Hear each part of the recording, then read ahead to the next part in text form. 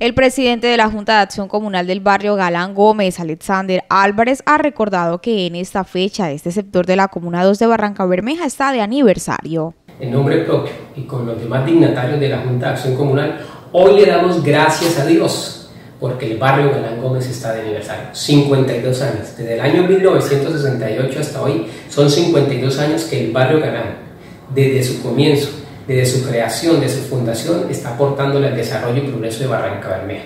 Por eso pedimos a Dios que nos ayude, que bendiga a las familias del barrio Galán, que las continúe bendiciendo para que sigan aportando al desarrollo y progreso de nuestra querida ciudad Barranca Bermeja.